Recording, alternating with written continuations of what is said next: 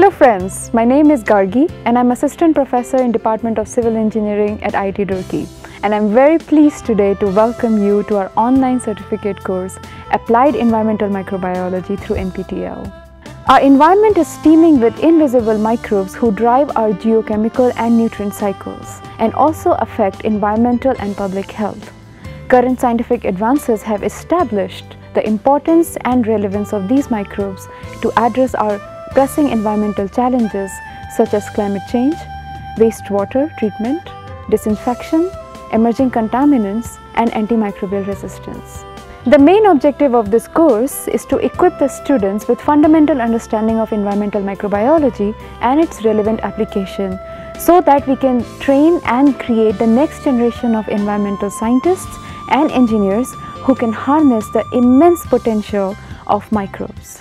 This course is open for both undergraduate and postgraduate students and would be particularly beneficial for those who are aspiring to be future environmental scientists, engineers and stewards.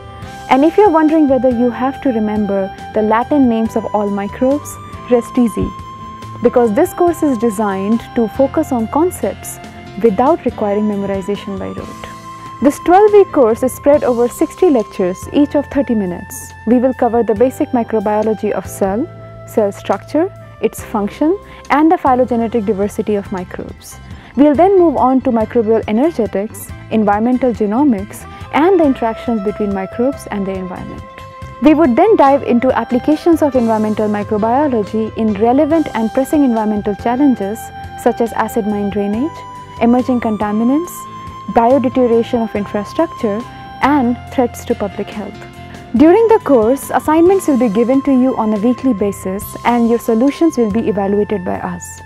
At the end of this course, an examination will be conducted for students who are interested in getting a certificate. I hope to see you in the course. Thank you.